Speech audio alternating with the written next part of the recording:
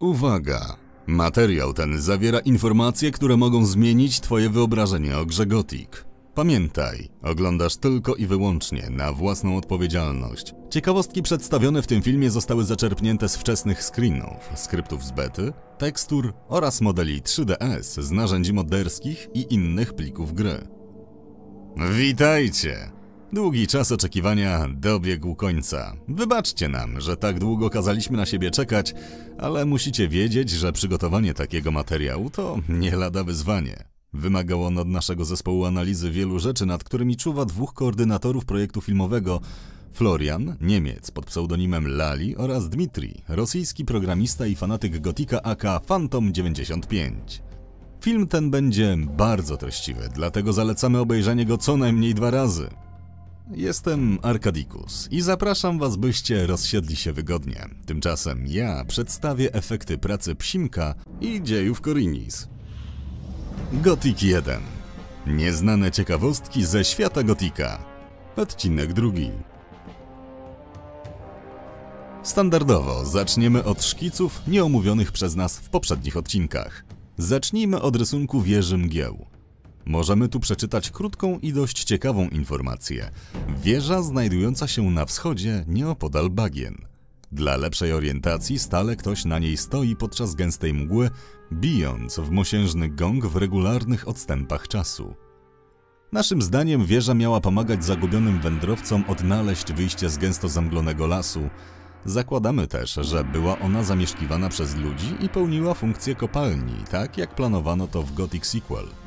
Dla przykładu, początkowo mogła być to kopalnia należąca do obozu bractwa, jednak nie było sensu jej wdrażać, ponieważ tych interesowało tylko bagienne ziele. Ostatecznie, jak wiemy, w lesie nie było żadnej mgły, przez co twórcy zrezygnowali z tego pomysłu, ponieważ dodanie tej mosiężnej tarczy nie miałoby w tym przypadku żadnego sensu. Interesujące jest też to, że w plikach gry znajdujemy teksturę o nazwie Gong. Z pomocą rosyjskich modderów Nikity i Dmitrija, po wykorzystaniu tego niewykorzystanego pomysłu, wyglądać to mogłoby mniej więcej tak.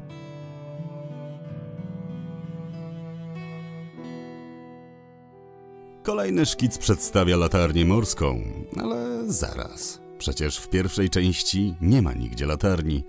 No, nie do końca, ponieważ model bardzo podobny do tego rysunku znajdziemy w klasztorze zmiennokształtnych, lecz latarnia nie została ukończona przez twórców, bądź celowo została taka dodana jako jej pozostałość po dawnych latach, kiedy jeszcze funkcjonowała.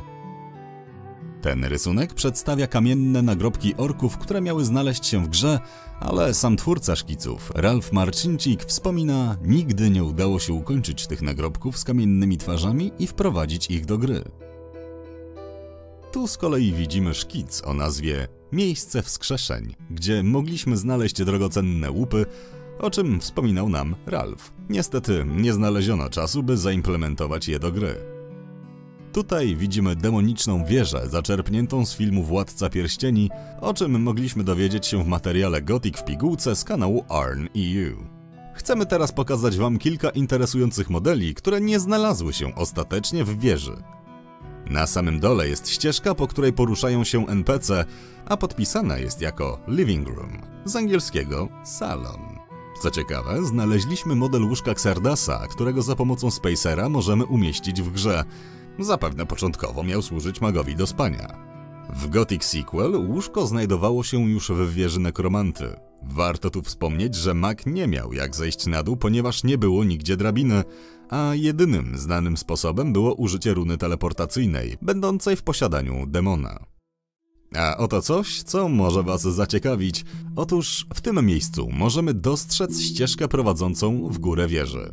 Czemu więc to miało służyć? W wieży Xardasa planowano dodać windę, po której gracz mógłby zapewne dostać się na wyższe piętro. To wyjaśniałoby też fakt, że Xardas w becie znajdował się na dole budynku i sprawiał wrażenie, jakby na kogoś czekał, a później udawał się na jej górę. Warto wspomnieć, że winda składała się z trzech części: obręczy, podłoża oraz niewidzialnej ściany, dzięki której winda mogła się poruszać. Naszym zdaniem piranie wycięli windę, aby uniknąć zbyt szybkiego kontaktu maga z bohaterem, gdyż był to zwyczajnie najłatwiejszy i najszybszy sposób. Teraz omówimy to, czego najbardziej oczekujecie. Zmienione i wycięte lokacje z Gothic 1. Ruiny klasztoru zmiennokształtnych.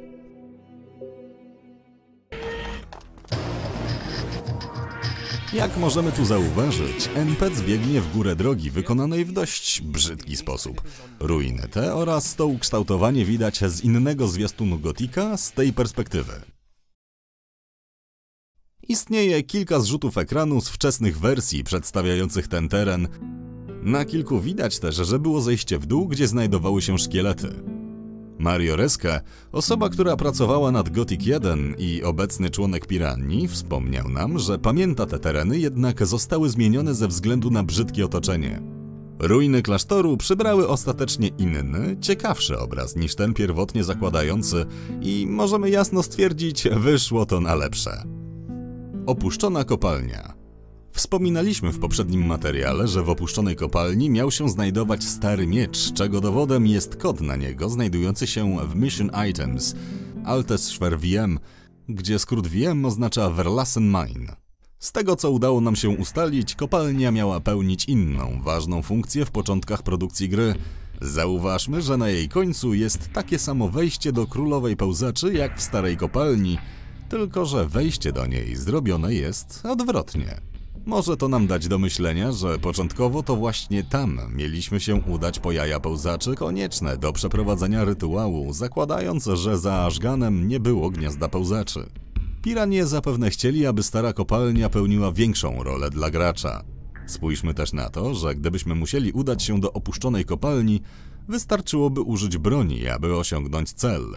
Zmieniając lokalizację misji, twórcy sprawili, że musieliśmy wykonać przy tym parę zadań, co w pewnym sensie ustanowiło rozgrywkę ciekawszą. Gdzieś tutaj musi być gniazdo pełzaczy. Założę się, że jest tu przynajmniej stuzin gniazd. Słuchaj, muszę natychmiast iść do tego gniazda. Nie mam teraz na to czasu. Parę godzin temu zepsuł się nasz rozdrabniacz. Koło zębate pękło w drzazgi. Przynieś mi koło zębate, wtedy zajmę się twoim problemem. Wycięta przełęcz. I tutaj mamy dla Was trochę nowych informacji. Większość już pewnie wie, że tędy przechodzili skazańcy, czego dowodem jest intro Gothic 1. Widać jak stamtąd wychodzą, ale zakładamy, że to już pamiętacie z naszych poprzednich nieznanych ciekawostek. Dodatkowo udało nam się ustalić kilka ciekawych rzeczy, o których już Wam mówię. Na jednym ze screenów wczesnej alfy możemy zauważyć, że wejście do usuniętej przełęczy jest zablokowane palisadą. Jej model możemy znaleźć w plikach Gotika. Co ciekawe, nazwa tej palisady to palisada troli, co może znaczyć, że pełniła funkcję ochronną właśnie przed trollami. Uważamy, że po wrzuceniu do kolonii głównego bohatera stara przełęcz była już wtedy nieużywana, ponieważ minęło kilkanaście lat, a tereny te zostały już przejęte przez owłosione bestie. Na modelu prototypowym mapy widać, że droga prowadząca do starego obozu prowadzi w stronę starej przełęczy, a dalej była ogromna przepaść, która blokowała dalsze przejście. Na zwiastunie wczesnej wersji widać przez chwilę właśnie ten teren, gdzie NPC znajduje się po drugiej stronie, niedostępnej dla gracza, za przepaścią. Dodatkowo w finalnej wersji w czwartym rozdziale pojawia się w tym miejscu troll, wskazując tym samym, że nasze wnioski mogą być właściwe. Dmitri zakłada, że to tutaj musieliśmy zdobyć jeden z kamieni ogniskujących wraz z Diegiem. Według naszych przypuszczeń, początkowa ich lokalizacja mogłaby wyglądać właśnie tak. Podziemne miasto orków. Zanim przejdziemy do tej lokacji, musimy ustalić pewne fakty. Na początek przeczytam fragment dawnej historii orków z początków tworzenia gry. Cytując fragment tekstu, przez tysiące lat lud orków żył w świecie Gothic. Na jego czele stali orkowi wojownicy. Z powodu prześladowania przez inne narody ostatecznie uciekli z powierzchni świata do jaskiń, obawiając się nienawiści ludzi. Orkowi szamani przejęli przywództwo. Odtąd żyli w jaskiniach, tak zwanych podziemnych miastach. A więc początkowo orkowie żyli w jaskiniach, stopniowo stając się coraz potężniejszymi. Spójrzmy teraz na ten screen. Oczywiście, zaraz pewnie powiecie, że pochodzi z Gothic Sequel, ponieważ na zdjęciu bohater ma otwarte dłonie. Macie tu rację, gdyż poziom testowy tego świata znajdziemy w dokumentach źródłowych sequela, które otrzymali m.in. Magot i Johnny z Arn EU. Ale co w tym interesującego? Ten kawałek świata przedstawia dokładnie to miejsce, które właśnie widzicie i pochodzi on z 2000 roku. Piranie pracowali nad nim, tworząc pierwszą część gry. Na północy znajduje się pewna jaskinia i, uwaga, jest to dokładnie ta jaskinia, która prowadziła do miasta orków, czego pozostałością w finalnej wersji jest entrance do niego za ścianą skalną. Musimy tu mieć na uwadze, że początkowo nie było czegoś takiego jak obóz orków na powierzchni, a tereny te znacznie się różniły. Dzięki uprzejmości Odina, rosyjskiego fana gry, wiemy, jak to mniej więcej wyglądało.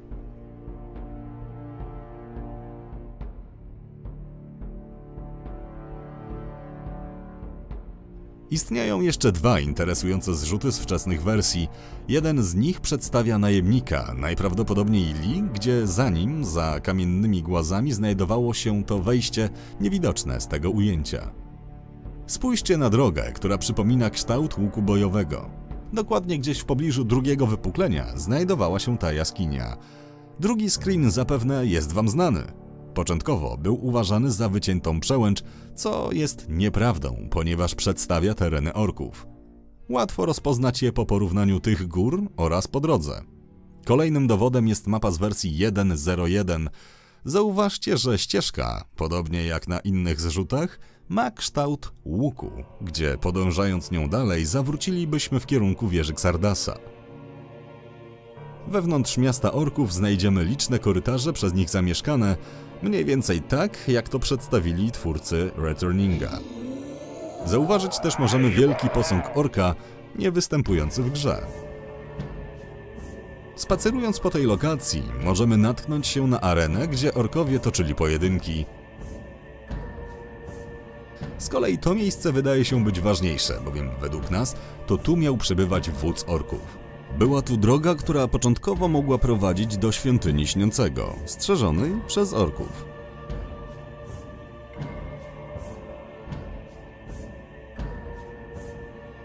Dodatkowo znaleźliśmy model orkowego łóżka nieużytego w grze.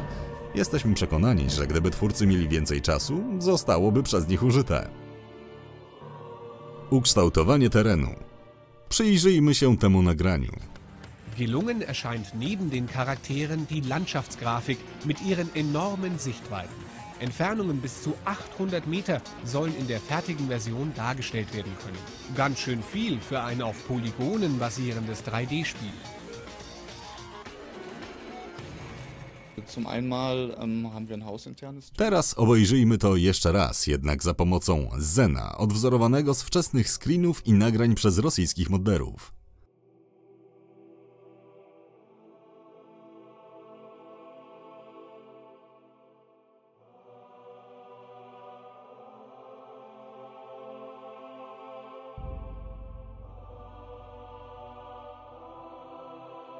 Tereny te wyglądały całkowicie inaczej i czasami można stracić orientację.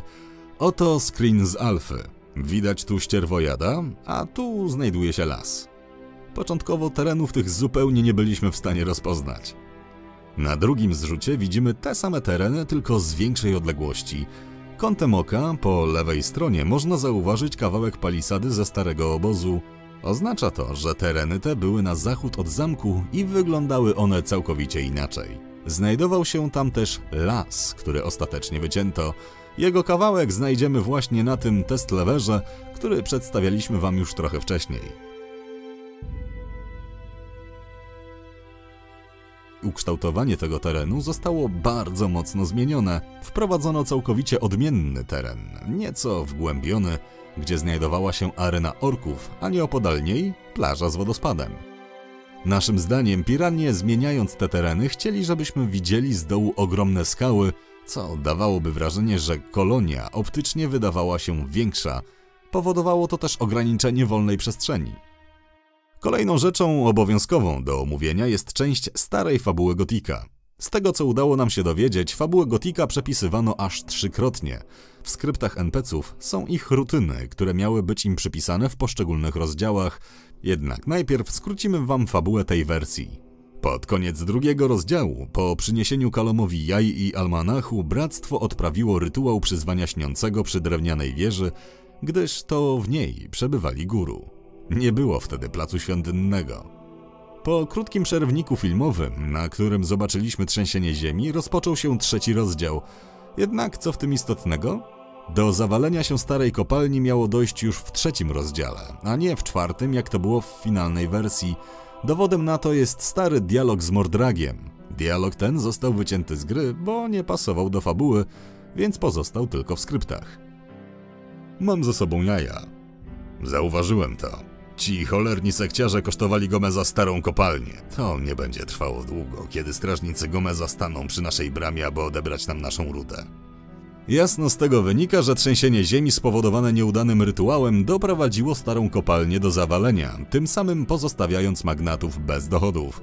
Niedaleko obozu bractwa można znaleźć ścieżkę o nazwie PSI View, co oznacza widok na bractwo. Ale teraz uważajcie, okazuje się, że w skryptach bety sporo NPC-ów posiada dodatkowe rutyny od trzeciego rozdziału, z których twórcy zrezygnowali.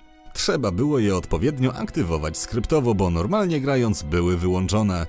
Wracając do sedna, Gomez w trzecim rozdziale wysyłał w stronę bractwa czterech strażników ze starego obozu, czego pozostałością jest nazwa tej ścieżki, którą możecie sami sprawdzić w finalnej wersji. Gomez wysłał ich, by ci mieli baczne oko na ich sąsiadów ze wschodu. W skład tych strażników wchodzili Hunter, Skorpion i dwóch zwykłych strażników. Ciężko w to uwierzyć, ale to wszystko prawda, a to dopiero początek tego, co mamy do pokazania. W trzecim rozdziale w Starym Obozie doszło do bardzo wielu zmian pod względem przemieszczenia się NPC-ów. Można powiedzieć, że Stary Obóz żyje. Kruk wychodzący z zamku i udający się na arenę, po której sobie spaceruje, czy też jeden z magów, Drago, który też lubi czasem wyjść z zamku. Podobnie jest z Hunterem i Skorpionem. Skorpion o godzinie 18 kończy wartę i wraca do zamku, zaś jego kolega o 22. O 7 rano cała czwórka wstaje i udaje się ponownie na posterunek. Bartolo spaceruje po głównym zamku, a Bulit wieczorem gra sobie na gitarze bądź pilnuje Morta i strażnika, gdy Skorpiona nie ma, gdyż ten jest na zwiadzie. Co ciekawe, w trzecim rozdziale można spotkać Gilberta w starym obozie i mieszka nieopodal Snafa. Wynikałoby z tego, że wrócił do obozu, mimo że miał napięku ze strażnikami.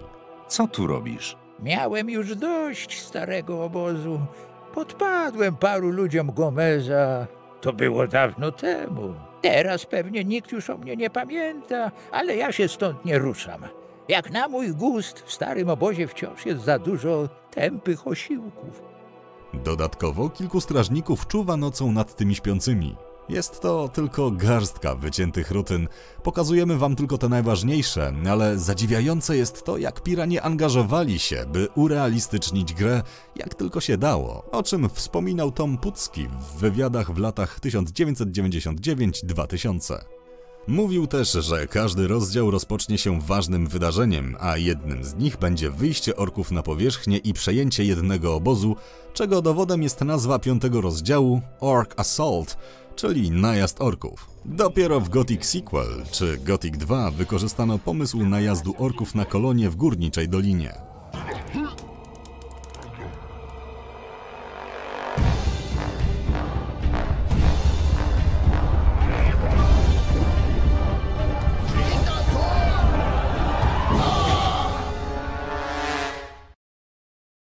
Pod koniec trzeciego rozdziału, podczas współpracy z Saturasem, miało dojść do kolejnego ważnego wydarzenia.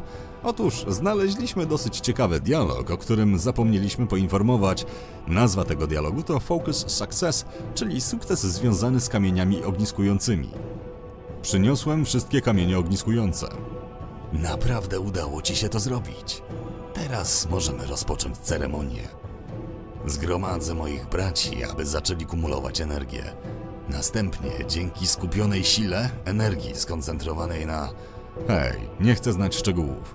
Najważniejsze, że możecie to zrobić. Z tego dialogu wynika, że po dostarczeniu naraz wszystkich kamieni ogniskujących, Saturas chciał zniszczyć barierę, przeprowadzając ceremonię. W tym miejscu jest sześć kamieni z pewnymi symbolami, a ich ilość jest proporcjonalna do ilości magów wody. To właśnie tutaj miało dojść do przeprowadzenia eksplozji kopca rudy, który niestety zakończył się niepowodzeniem. Saturas wpadł w szał, ponieważ chciał za wszelką cenę wydostać się na wolność. Naszym zdaniem scenę tę przedstawiają dwa zrzuty ekranu. Jeden ze screenów pokazuje moment, w którym ma dojść do tego wydarzenia, drugi przedstawia rozczarowanych magów wody. Wtedy ostatnią deską ratunku pozostaje Xardas. Warto zwrócić uwagę, że do stworzenia magicznej bariery magowie użyli pięciu kamieni ogniskujących oraz almanachu, ale to jeszcze nie wszystko. W pliku Meshes znajdują się dwa interesujące modele, które możemy przywołać do gry za pomocą Spacera. Pierwszy to Focus Amulet. Jak wiemy, kod na kamienie ogniskujące to Focus Stone, więc możemy umownie stwierdzić, że był to amulet ogniskujący, nie użyty w żaden sposób w grze. Dla przykładu, twórcy mogliby go umieścić w wieży mgieł, w jednej ze skrzyni. Udało nam się też znaleźć bardzo ciekawy model kostura wyglądający tak samo jak ten z Intragotic 1, za pomocą którego Saturas mógł skupić moc kamienia. Reasumując, do stworzenia bariery magowie użyli kostura, pięciu kamieni ogniskujących, amuletu ogniskującego oraz almanachu, jednak w grze wiemy tylko o kamieniach i almanachu. Teraz możemy przejść do Xardasa. Przebywa na dole wieży i zdaje się, że na kogoś czeka. Również z nim początkowo dialogi były nieco inne. Oto te dialogi. Mistrzu Xardasie, magowie ognia są martwi. Wiem. Mistrzu Xardasie, stary obóz najechał na... Wiem. Skoro już wiesz wszystko, to co robimy dalej? Cóż, jest inny sposób. Co możemy zrobić? Jak się stąd wydostaniemy? Teraz zapomnij o obozach, innych magach i ich planach. Bariera wymknęła się spod kontroli, ponieważ struktura magii została zakłócona przez arcydemona. Przestudiowałem stare pisma o orkowych rytuałach i porównałem strukturalne zmiany bariery z ich starożytnymi demonicznymi kultami. Zgadzają się. Arcydemon? Tak, bardzo silny wróg. Musisz znaleźć sposób na to, jak go powstrzymać. Skoro był to starożytny kult orków i to orkowie wezwali demona, to odpowiedzi na wszystkie pytania znajdziesz wśród orków. Jak dostać się na terytorium orków? Przecież zabijają każdego, kto się do nich zbliży. Nie powiedziałem, że to będzie łatwe. Nie poradzę sobie ze wszystkim. Znajdź jakiś sposób. Dialogi były nieco inne, ale istotne są tutaj słowa Xardasa wspominającego o tym, że magiczna struktura bariery została zakłócona przez arcydemona. Finalnie Xardas nie mówił nam dosłownie, że przyczyną tego niepowodzenia był śniący, ani nie wspomina o demonicznych znakach. Dopiero w Gothic Sequel dowiadujemy się o zachwianiu równowagi spowodowanym zniszczeniem bariery. Istnieje jeszcze jeden dialog z Xardasem, warty uwagi, był on używany pod koniec rozgrywki. Znalazłem ten oto zdobiony miecz. Pokaż mi. To wielki miecz Uriziel. Słyszałem już o tym mieczu. To broń z dawnych czasów, kiedy rasa ludzka była jeszcze bardzo młoda.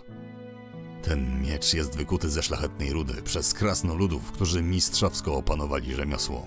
Mówi się, że Uryziel posiada magiczne moce i kiedy patrzę na tę broń, widzę, że to prawda ale niestety miecz stracił swoją moc prawdopodobnie przez to, że długi czas leżał w świątyni. No dobra, krasnoludy.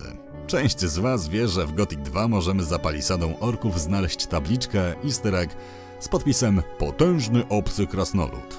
Pisze on tam, że zostaliśmy oszukani, Trzeba jednak zwrócić uwagę na to, że słowa Xardasa, twierdzącego jakoby Uriziel został wykuty przez krasnoludy, są nawiązaniem do Władcy Pierścieni. Kod na Uriziel to Mitril Klinga, gdzie Mitril jest metalem wydobywanym przez krasnoludy w kopalniach Khazad Dum.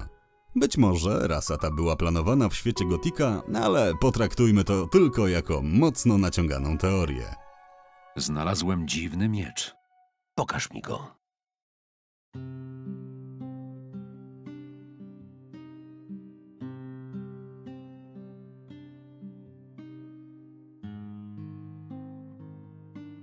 Hmm, to ciekawe. Wyryto na nim słowo Uriziel. Słyszałem o tym mieczu. To oręż z dawnych lat, kiedy rasa ludzka była jeszcze bardzo młoda. Nie wiem, z jakiego materiału go wykuto, ani nawet kto go wykuł. Przejdźmy do kolejnego wyciętego wątku.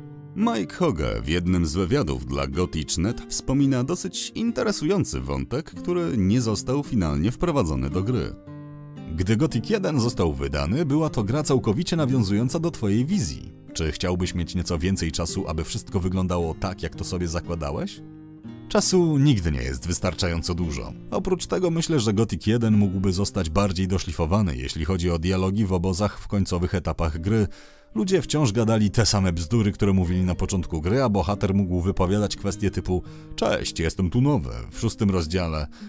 To było głupie. A tak, e, jeszcze jedna rzecz. Sekretne spotkanie czterech przyjaciół bezimiennego. Byliśmy informowani o tym, że odbędzie się ono później, a tak naprawdę nigdy nie miało miejsca, ponieważ nie starczyło nam czasu na ukończenie tego wątku. Poza tym i paroma bugami jestem raczej usatysfakcjonowany końcowym efektem naszej pierwszej pracy. No właśnie, wątek z czterema przyjaciółmi. Historię ich możemy poznać w Gothic Der Comic, gdyż to oni trafili wtedy razem do kolonii. Przypomnę, że przyjaciele bezimiennego wspominają o tym wydarzeniu, chociażby Diego. Nie ma sprawy. O co chodzi? Znajdź Lestera i Gorna. Muszą się dowiedzieć o tym, co się tutaj wydarzyło. Powiedz im, że spotkamy się we czwórkę tam, gdzie zwykle. Jeśli znajdę ich przed tobą, przekażę im ostrzeżenie i wezwanie na spotkanie. Dzięki, przyjacielu. Widzę, że równy z ciebie gość. Idź już. Jeszcze się kiedyś spotkamy. Niestety do spotkania nigdy nie doszło. Nasze pierwsze odkrycia pozwalają dodatkowo stwierdzić, że początkowo była możliwość dołączenia do tej grupy. Dowodem tego są usunięte dialogi z Miltenem, które można znaleźć w skryptach bety. Co tu robisz? Szukam bezpiecznego miejsca do spotkania. Miejsca spotkania? Po co? Do spotkań ryzykownych politycznie. Napięcia między obozami są coraz silniejsze i nie wszyscy lubią znajomych przyjaciół z różnych obozów. Masz na myśli najemnika Gorna i Lestera Nowicjusza, prawda? I cienia Diego. Znasz go już całkiem dobrze. Czterech z nas weszło do kolonii tego samego dnia. Zdecydowaliśmy wtedy, że mamy większą szansę na ucieczkę, jeśli rozdzielimy się między inne obozy. Tych dialogów Milton nie wypowiada w finalnej wersji, ale najciekawsze dopiero teraz. Chcę dołączyć do waszej grupy. Jesteś już prawie piątym członkiem. Już trochę cię znamy, ale jeszcze nie mamy do ciebie pełnego zaufania. Chcę, byś wcześniej wyświadczył mi przysługę. O co chodzi? Widzisz ten kamienny krąg? Pod nim znajduje się grób. W tym skarbcu jest coś, co chciałbym mieć. Dalszą część historii już znacie. Finalnie bohater nie pyta Miltena o możliwość dołączenia do ich grupy. Szkoda wycięcia tego wątku, bo wydawał się naprawdę ciekawy. Dodatkowo nasuwa się myśl, gdzie w takim razie znajdowało się miejsce spotkań całej czwórki. Zwróćmy uwagę, że po ukończeniu zadania z talizmanem orków, Milten udaje się do małej kotliny znajdującej się na terytoriach orków. W Gotiku 2 znaleźć tu możemy Diega, w Becie siedzi tu Gorn. Czyli jasno możemy stwierdzić, że miejscem spotkań była ta kotlina na terytorium orków. Witaj, przyjacielu, dawno się nie widzieliśmy. Hej! Myślałem, że już nie żyjesz. Cześć, żółtodziobie. Jak widzisz, kolonia to bardzo małe miejsce. Co teraz zamierzacie zrobić? Zostaniemy tu jeszcze przez jakiś czas. Chwilowo nie mam czasu. Bardzo się śpieszę. Powodzenia i uważaj na siebie. Jeszcze się zobaczymy. Tylko czemu bohaterowie mieliby spotykać się w tak niebezpiecznym miejscu? Z tego co wspominaliśmy, w początkowych fazach tworzenia gry orkowie zamieszkiwali jaskinię prowadzącą do miasta orków, a na powierzchnię wychodzili bardzo rzadko i to w niewielkiej liczbie. Dopiero piąty rozdział zwiastuje ich nadejście. Pełną, wyciętą fabułę omówimy w kolejnym materiale. Wycięte przedmioty oraz ich modele znajdujące się w folderze Meshes. Omówimy teraz przedmioty, o których nie zdążyliśmy Wam jeszcze powiedzieć, a za pomocą odpowiednich narzędzi również pokażemy je Wam. Zacznijmy od miodu. W Gothic 1 nigdzie miodu nie uświadczymy. Na szczęście tekstura tego przedmiotu występuje w plikach, a za pomocą Spacera jesteśmy w stanie pokazać Wam w skali 1 do 1, jak wyglądał ten przedmiot. Jest to coś w rodzaju plastra miodu. Zapewne miały one znajdować się na drzewach. Kolejny przedmiot to ulumulu będący amuletem. Początkowo mieliśmy dla orka zanieść trzy trofea. Język ognistego jaszczura, kieł błotnego węża oraz pazury topielca. Przedmioty te widać na tym amulecie jako integralne jego części. Rezygnując z tego amuletu, piranie postanowili, że gracz będzie mieć do wyboru jeden z dwóch ulumulu w zależności od klasy postaci. Dla wojownika było to ulumulu znane nam z Gothic 1, dla maga zaś kostur, którego tekstura i model widzicie na ekranie. Ostatecznie zabrakło czasu na doszlifowanie drugiego modelu, bądź sam przedmiot nie był na tyle ważny, więc zdecydowano, że będzie tylko jedna opcja bez względu na klasę postaci. Istnieją jeszcze przedmioty niemożliwe do przyzwania za pomocą konsoli kodów, między innymi kamienne tabliczki. Znaleźć je można w folderze Written wraz z innymi książkami. Służą do czytania. Dopiero w dodatku do Gotika 2 Nocy Kruka wykorzystano ten pomysł. Z ich pomocą mogliśmy zyskać poszczególne umiejętności. Pusta kamienna runa. Za jej pomocą mogliśmy tworzyć runy. Niestety w pierwszej części nie ma do tego odpowiednich narzędzi. Twórcy pomysł ten wykorzystali w Gothic Sequel, czy też później w Gothic 2. Kamień teleportacyjny. Wyglądem przypomina kryształy z Gotika 2. Być może początkowo za pomocą ich mogliśmy się teleportować, bądź, jak w przypadku pustej runy, stworzyć przedmiot do teleportacji, posiadając jej zwój. Są to tylko nasze przypuszczenia. Warto zwrócić uwagę na runę teleportacji koloru żółtego, która też została wycięta. Prawdopodobnie miała prowadzić do miasta orków, kiedy jeszcze istniała jaskinia prowadząca do niej. Dodatkowo widać tu runy przemiany w danego potwora, które też zostały wycięte, dając nam tylko ich zwoje, przez co mogliśmy użyć ich tylko jeden raz. Wycięto też dwa egzemplarze run należące do obozu Bractwa i nowego obozu. W plikach gry możemy znaleźć tekstury miecza i topora koloru złotego. Modeli tych broni nie znajdziemy w plikach, natomiast gdybyśmy mieli odtworzyć te przedmioty, wyglądałyby one mniej więcej tak.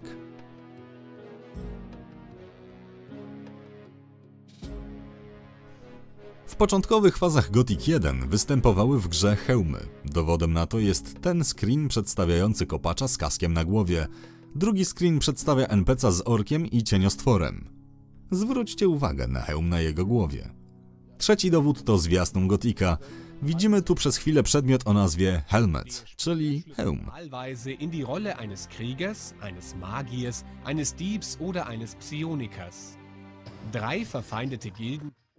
Czwartym, a zarazem ostatnim niepodważalnym dowodem są słowa twórcy gry Toma Puckiego, który odpowiedział na to pytanie dla naszego zespołu. Tak, próbowaliśmy dodać hełmy, ale nie było to zbyt satysfakcjonujące, więc porzuciliśmy ten pomysł. Chcielibyśmy jeszcze tu dopowiedzieć, że w Gothic Sequel znajduje się jeden egzemplarz hełmu nieposiadający tekstury. W jego kodzie jest podpis jego wizualizacji jako ebrhelmet.3ds, czyli hełm należący do magnatów. Naszym zdaniem model hełmu pochodził z Alfy Gothic 1, wykorzystanego dopiero w Gothic Sequel jako dodatek do zbroi łowcy demonów. Przedmioty nieużyte w grze znajdujące się w folderze Mission Items oraz ich zadania. Pierwszym przedmiotem jest klucz ryżowego księcia. Naszym zdaniem był związany z dawnym zadaniem od Laresa, gdzie musieliśmy odzyskać dla niego napój błyskawicznego uzdrowienia od Lewusa. Po rozmowie z Lewusem i skopaniu mu tyłka okazuje się, że nie miał on przy sobie tej mikstury. Przykładowo, dalsza część zadania opierałaby się na tym, że musielibyśmy wykraść ten klucz ryżowemu księciu, a następnie dostać się do jednej ze skrzyń, w której znaleźlibyśmy tę miksturę. Potem pozostałoby zwrócić ją Laresowi, o czym wspominaliśmy w odcinku poświęconym nowemu obozowi. Dodatkowo z ryżowym księciem mogliśmy początkowo handlować, ale ze względu na klucz, który posiadał, wyłączono mu tę możliwość, tak jak to było w przypadku Bartolo. Twórcy zrezygnowali z tej misji, usuwając przy tym klucz z ekwipunku ryżowego księcia, zapominając przy tym przywrócić opcji handlu. Może się dogadamy. A co możesz mi zaoferować? We finalnej wersji możemy przyzwać kodem książkę o nazwie Skazańcy. Nie posiada ona żadnego tekstu, ale najprawdopodobniej była powiązana z jakimś już nieistniejącym zadaniem. Trzecim, a zarazem ostatnim przedmiotem, do którego przejdziemy, jest amulet Salma. Niestety został on już wycięty w wersji 1.0.1, a oprócz linijki kodu nie ma po nim żadnego śladu. Amulet ten został związany z zadaniem od Bal Namiba, zlecanym nam w wersji 1.0.1 w celu dołączenia do bractwa. Postanowiliśmy, że umówimy to zadanie, ponieważ dialogi nieco się różniły. Jestem nowym kurierem. Co? Czekasz za Salmem? Co? A, nie, zostaw mnie w spokoju. Będziesz czekać na próżno. On już nie przyjdzie i nie przyniesie ci rzeczy do laboratorium, ponieważ przejąłem jego interes. Czemu? Co jest z Salmem? Najpierw zabierz mnie do swojego kompana. Mamy o czym porozmawiać. Nie, nie mogę tego zrobić. Zabierz mnie, zanim się rozmyślę. Wciąż potrzebujesz tych rzeczy od sekciarzy, prawda? Ech, dobra, chodź za mną. Co to jest? Dlaczego przynosisz to ze sobą? Gdzie jest Salm? Mogę ci to wyjaśnić. Czego chcesz? Mam nadzieję, że masz dobrą wymówkę. Jestem twoim nowym kurierem. Salm był tym zmęczony. Salm był tym zmęczony? Tak. Przekonałem go, mówiąc wprost, że przejmuję jego robotę, co oznacza dla ciebie, że dostaje ten sam udział co on. Co możesz nam zaoferować? Dostaniesz wszystko, czego zapragniesz, a ja będę siedzieć cicho. Uzgodnione. Skoro już tu jestem, mogę się do czegoś przydać? Weź te rzeczy i zabierz je jutro do wieży. O tej wieży obok nowego obozu już mówiliśmy.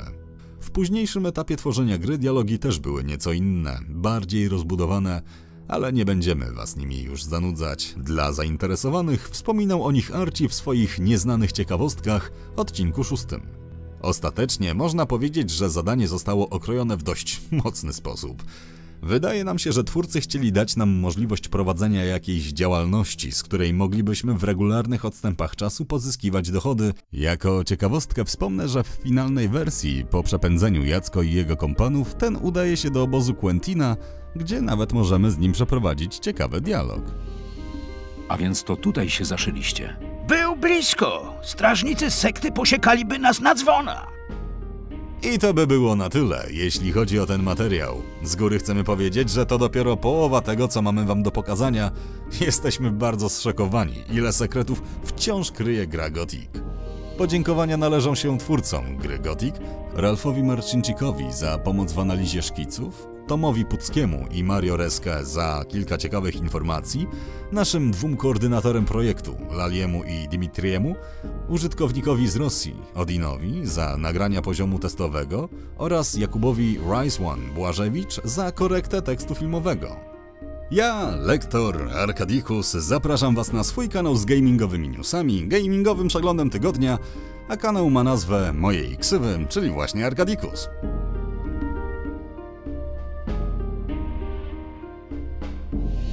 Gothic 1 w wersji alfa i beta. Niekończąca się opowieść. Do usłyszenia niebawem. Hej!